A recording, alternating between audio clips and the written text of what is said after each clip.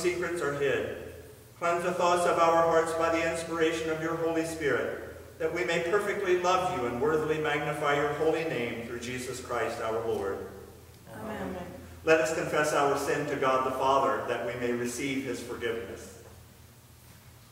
Most merciful God, we confess that we are captive to sin And cannot free ourselves.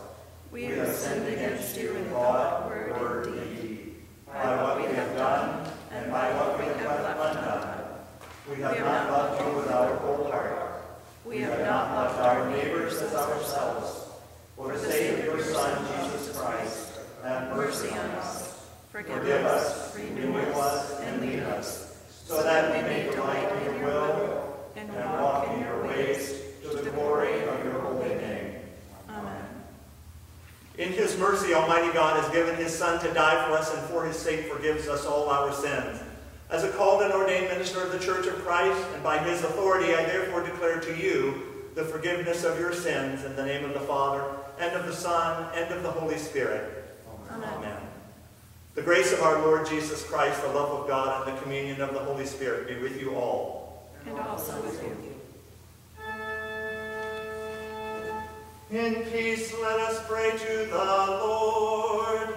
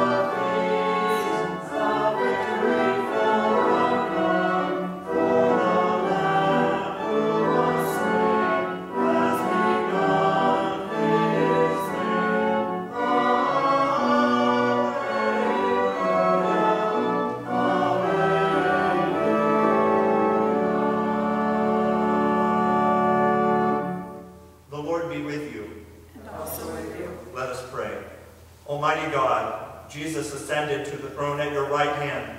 Help us to trust in his never-ending presence, that we may bear witness to your grace until the day we celebrate with all the saints around your throne.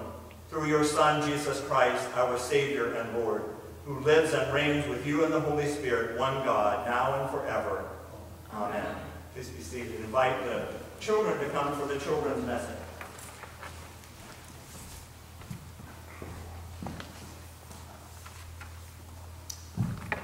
Hi. Hi, everyone watching and participating at, at home. Uh, so today is, uh, today is obviously Tuesday, and we're recording the service for Sunday. And uh, the theme for this, this service is the ascension of Jesus. Do you know what ascension means? Huh? No? You know what, you know what to de descend means? To descend means to go down. To ascend means you know what ascension is about Jesus going, returning to, to heaven after his resurrection. And normally Ascension Day is, uh, would be this Thursday, but under the circumstances we're celebrating Ascension today and, and on Sunday. And uh, when Jesus, after his resurrection, was meeting with the disciples, they were asking him all kinds of questions, and he said, wait, wait here in Jerusalem until the Holy Spirit comes upon you, and you will have power. And the Holy Spirit gives the, gave the disciples power to tell others about Jesus. And all of a sudden, Jesus was, and Jesus was taken up into heaven. Now, when you hear this story from the Bible, you think, well, of course Jesus went to heaven. We all go to heaven when we die. But this is special because you know that the Jesus who went up into heaven was not just his spirit, but the body of Jesus were transformed and taken up to heaven. So even today, Jesus still has the marks of the crucifixion in his, in his hands and in his feet and the spear mark in his side. So always and forever, Jesus stands before God as a constant reminder and proclamation that he died for us. Forever, he stands there before God, not as, not as what he was before he became uh, the son of the Virgin Mary, but the human Jesus. And he, and he stands before the Father and he prays for us. He asks God for us to watch over us and to give us, give us the ability to serve him faithfully. Okay? Let's pray. Dear God, thank you for your love. Thank you for Jesus who died and rose for us and ascended into heaven. Help me to believe in him and to trust him and tell others about him. Amen. Take your pick.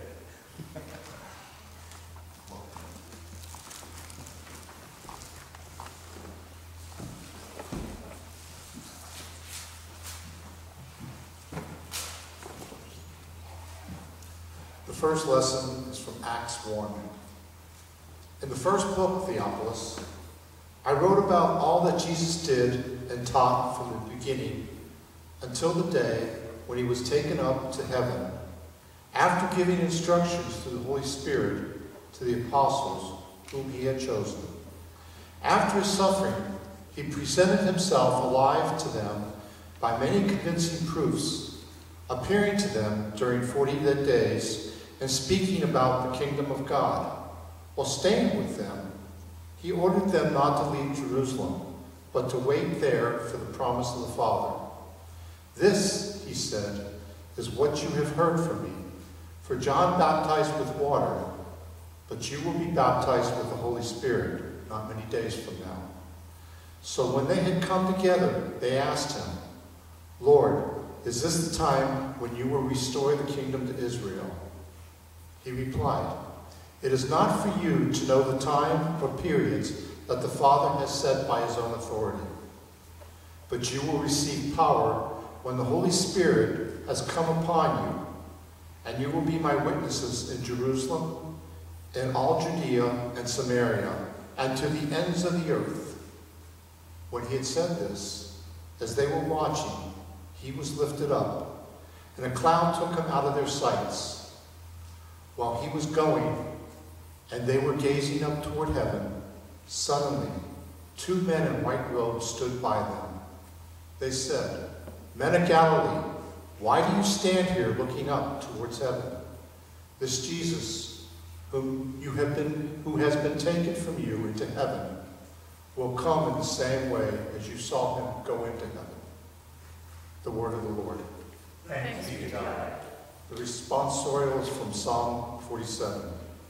Clap your hands, all you people. Shout to God with loud songs of joy. For the Lord, the Most High, is awesome, a great king over all the earth. He subdues people under him and nations under our feet. He chose our heritage for us, the pride of Jacob, whom he loves. God has gone up with a shout, the Lord with the sound of a trumpet.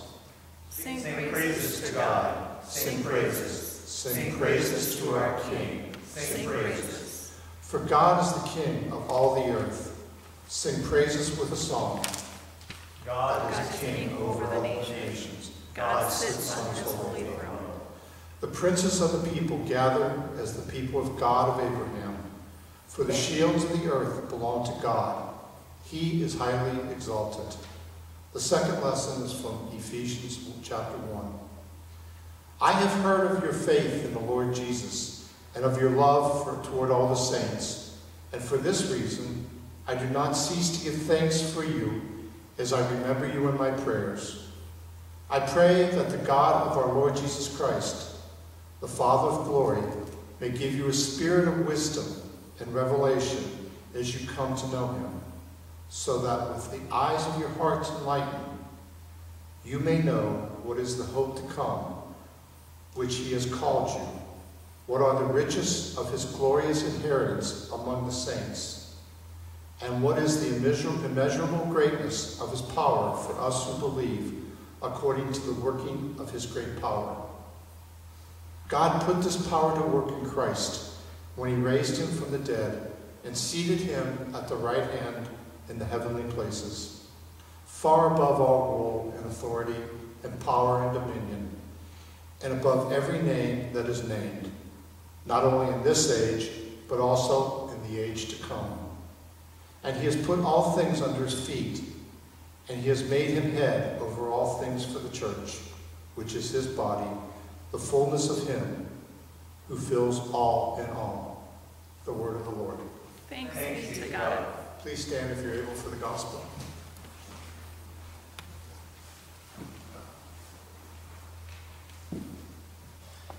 The gospel is written in the 24th chapter of St. Luke. Glory to you, O Lord. Then Jesus said to them, These are my words that I spoke to you while I was still with you, that everything written about me in the law of Moses, the prophets, and the Psalms must be fulfilled. Then he opened up their minds to understand the scriptures, and he said to them, Thus it is written, that the Messiah is to suffer and to rise from the dead on the third day, and that repentance and forgiveness of sins is to be proclaimed in his name to all nations, beginning from Jerusalem.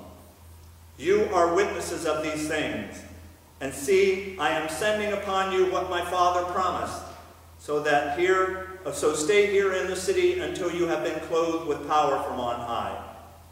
Then Jesus led them out as far as Bethany, and lifting up his hands, he blessed them.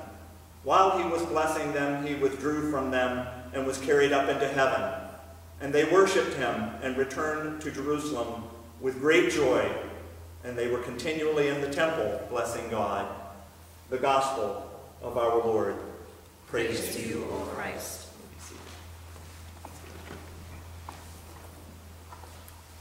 Brothers and sisters in Christ, grace to you and peace from God our Father and our Lord and Savior, uh, Jesus Christ. I think if you were to ask most people, what is the most important event in the life and work of Jesus, most people would almost, almost universally say the cross. His suffering and death for us. And uh, we know that, that servants of Christ, like the Apostle Paul, I determined that I determined, he says, to know nothing among you except Jesus Christ and him crucified. But St. Paul himself also reminds us that the crucifixion of Jesus is part of an, uh, an entire process, if you will, of the saving and redeeming work of God in Christ. So there's a sense in which you could say that if Jesus himself was not the incarnate Son of God, born of the Virgin Mary, then his suffering and death for us was tragic, but uh, could accomplish nothing on our behalf. You could also argue, as St. Paul does in 1 Corinthians 15 and elsewhere, that if Christ died for us and was not raised from the dead, then, then death has won and we are still in our sins and our faith is, is, is, is pointless. Our faith is empty, futile.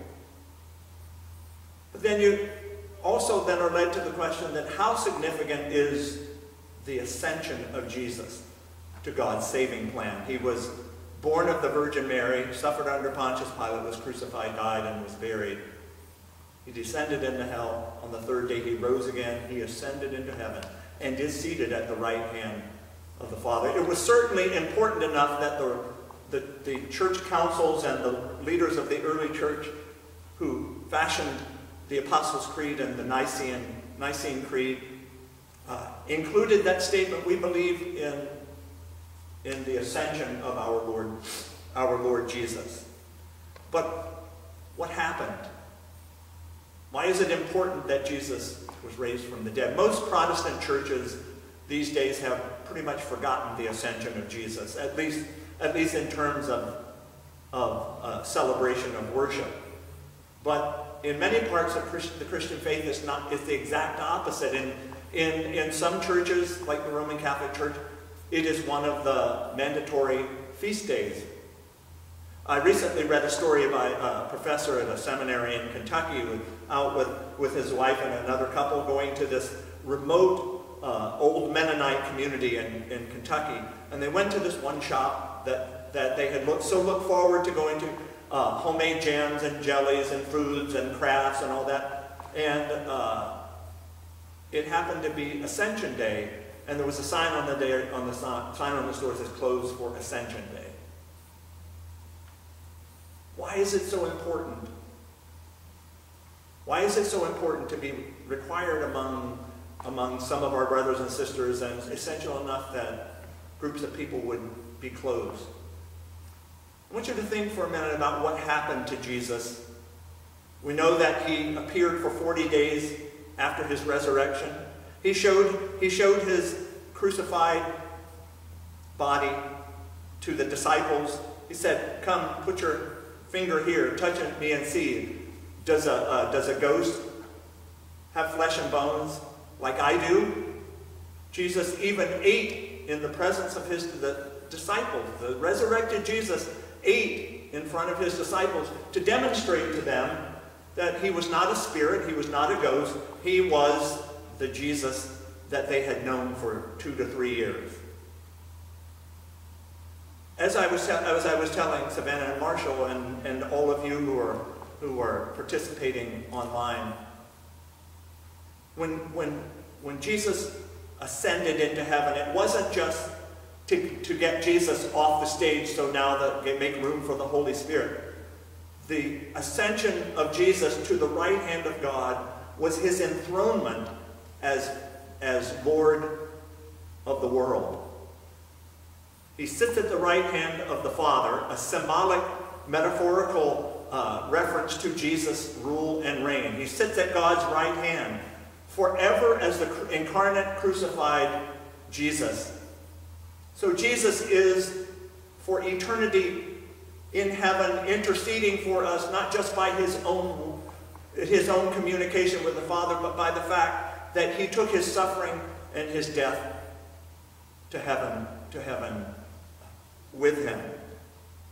Now, I think, I believe that if we, if we got, uh, uh, if we reclaim the significance of the ascension, that the early Christians have our lives, our prayer lives, our worship lives, our serving, our, our mission, our evangelism, our, fellow, our fellowship, our living day to day, especially in, in the crisis that we've been living in over the past two, three months and the crisis that we will continue to try to find ways to live in. What does it mean that Jesus Christ, the crucified, risen, and ascended Jesus, is Lord? What does it mean? What does it mean for our lives uh, as believers? When you turn to the New Testament, um, I was surprised one time to discover that the most often quoted verse from the Old Testament by the New Testament writers is not what you would think. We might think something from Isaiah, from the suffering servant, or we might think maybe from one other prophet or, or what. It is Psalm 110, verse 1. The Lord said to my Lord, Sit at my right hand until I make your enemies a footstool for your feet. That verse the early Christians took to be uh, referring to Jesus' ascension into heaven. Jesus reigns at the right hand of God. The world that we live in is still broken and fallen, and we, it may not look at all like Jesus Christ is Lord when we look at the world, but for us who are in Christ, our lives rest assuredly and without reservation in, in the redeeming work of God in Christ. He died for us. He was raised for our justification. And he ascended into heaven and sits at the right hand of the Father. He reigns as Lord. And as St. Paul writes in Philippians, one day every knee shall bow and every tongue shall confess that Jesus Christ is Lord to the glory of God the Father. So, lastly, then, there is the aspect of the coming of the Holy Spirit. As I said, Jesus did not leave. Jesus did not leave to make room for the Holy Spirit. Jesus left and ascended to heaven as Lord so that he and the Father could send the Holy Spirit upon his believers and that they would be empowered to be the church, to proclaim the word of God, that the crucified, risen, and ascended Jesus, the incarnate Jesus, is Lord. You will receive power when the Holy Spirit comes upon you. It is, it is my sincerest and, and, and most and firmest hope that as we struggle together in the coming days, as we have been struggling, that this message that Jesus Christ is Lord will empower us, that it will give us strength, that it will give us hope, and that it will give us genuine peace to do all that God has called us to do in the midst of all of the struggles that, that we are facing. In the name of the Father, and of the Son, and of the Holy Spirit. Amen.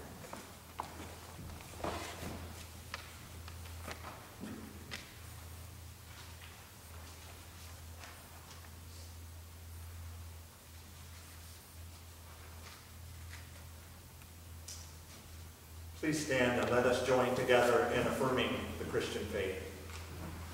I believe in God, the Father Almighty, creator of heaven and earth. I believe in Jesus Christ, his only Son, our Lord. He was conceived by the power of the Holy Spirit, born of the Virgin Mary. He suffered under Pontius Pilate, was crucified, died, and was buried. He descended into hell. On the third day he rose again. He ascended into heaven. He is seated at the right hand of the Father, and he will Come again to judge the living and the dead. I believe in the Holy Spirit, the holy Christian church, the communion of saints, the forgiveness of sins, the resurrection of the body, and the life everlasting. Amen. Let us join together in singing verses 1, 2, and 6 of The Head That Once Was Crowned.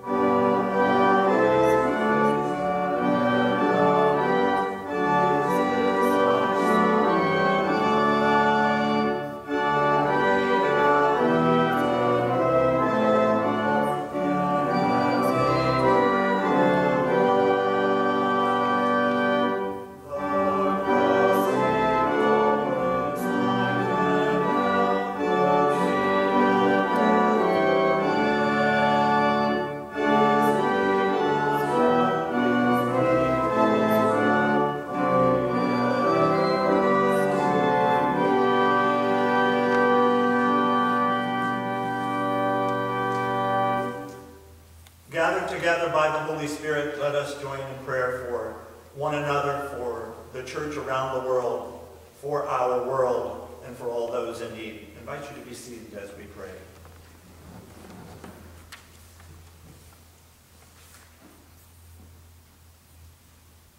Almighty God, we thank you that you have blessed us with freedom to gather in your promised presence, to praise you and to bring our mutual prayers before you. And we ask you to enable us to continue to cherish these freedoms and to protect them so that they may continue for generations to come. Fulfill now, we pray, our desires and petitions according to your holy will. Lord, in your mercy, Hear our prayer. Risen and ascended Jesus, we pray that you would continue to open our minds to understand the Scriptures, and that you would fill us with power of your Spirit, so that we may proclaim to all that you are risen from the dead and ascended into heaven, where you reign as Lord and Savior of all. Lord, in your mercy, Hear our prayer. Almighty God, through your Son, Jesus Christ, you gave the apostles many gifts with which to feed your flock. Bless all those who teach and preach your word with the power of your Holy Spirit, so that they may do so faithfully and truthfully and in the power of your grace and love. Lord, in your mercy. Hear our prayer. Faithful God, we thank you for calling us to yourself and making us your sons and daughters in Christ. We thank you for one another, for this Christian family. We pray for one another.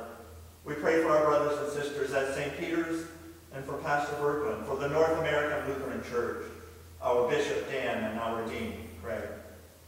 We ask, O God, that you would empower your people in every place to serve you faithfully and sacrificially, proclaiming the good news of our Lord and Savior, Jesus Christ.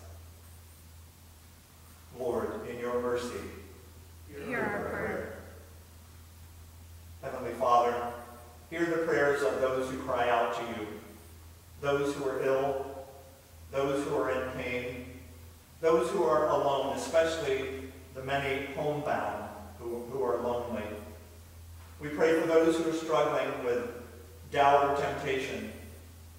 We pray for those who are wrestling and who turn to you for forgiveness. We pray also for those who mourn.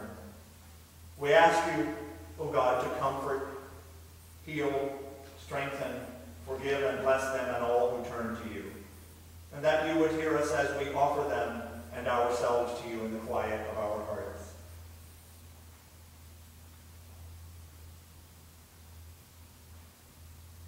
Lord, in your mercy. Hear our prayer. Almighty God, we ask you to hear us and grant our requests according to your perfect will. For we ask them in the name of your Son, Jesus Christ, our Lord, who taught us to pray. Our Father, who art in heaven, hallowed be thy name. Thy kingdom come, thy will be done on earth as it is in heaven.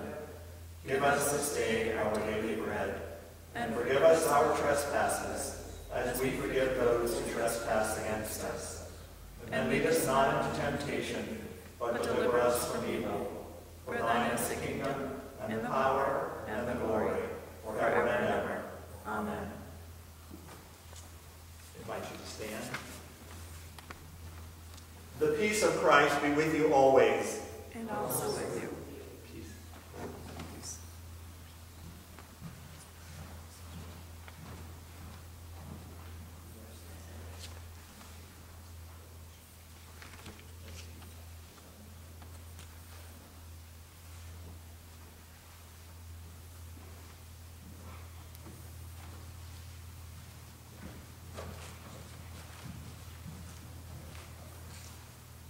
May be seated.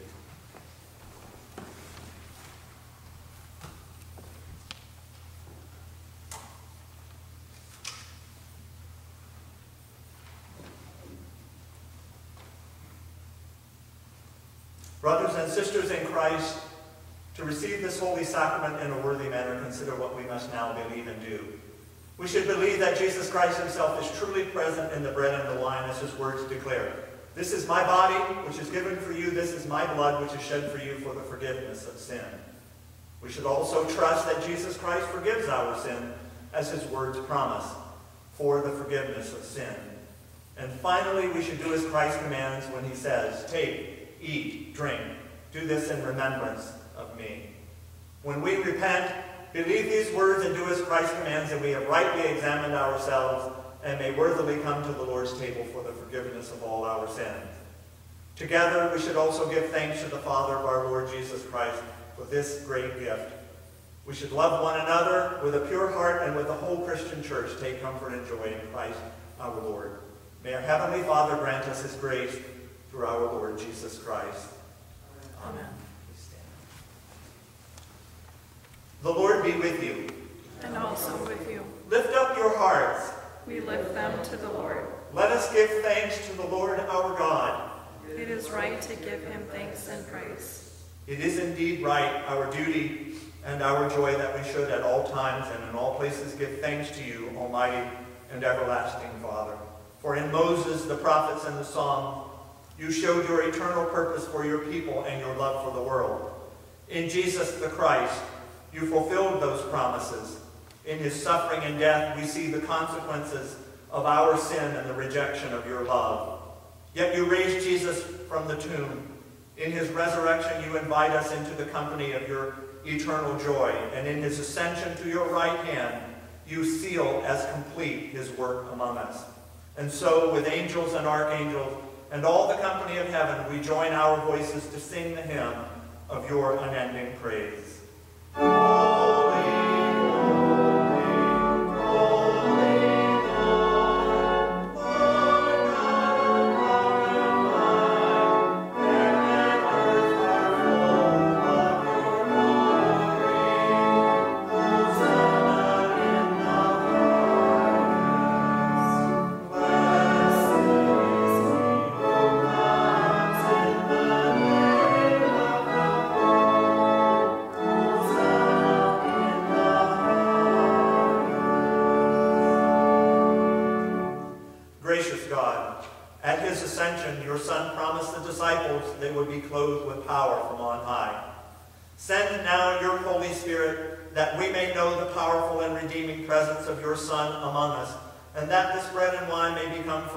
True body and blood of our Lord Jesus, who in the night in which he was betrayed took bread, and when he had given thanks, broke it, gave it to his disciples, and said, Take, eat. This is my body which is given for you. Do this in remembrance of me. Again, after supper, he took the cup, he gave thanks, and he gave it to them, saying, Take, drink from this, all of you. This cup is a new covenant in my blood, which is shed for you and for many for the forgiveness of sin. Do this as often as you drink it in remembrance of me. For as often as we eat this bread and drink this cup, we proclaim the Lord's death until he comes again. This is the gift of God for his people. Christ our Lord invites you to his table.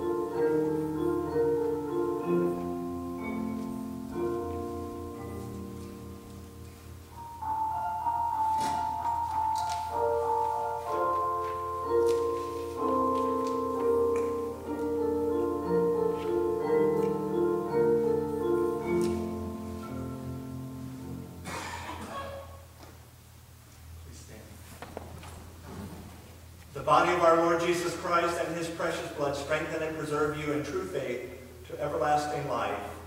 Amen. Let us pray. Almighty and ever-living God, we thank you for feeding us with the precious body and blood of your Son, our Savior, Jesus Christ, and for assuring us in this holy gift that we are living members of his body and heirs of your eternal kingdom. Send us out in the power of your Spirit, the Spirit of the crucified, risen, and ascended Jesus, to do the work which you have given us to do, to love and serve you as faithful witnesses of Christ our Lord. To him, to you, and to the Holy Spirit be honor and glory now and forever. Amen. Almighty God, Father, Son, and Holy Spirit bless you now and forever. Amen. Our sending hymn is Crown Him with Many Crowns. We will sing verses 1, 4, and 5.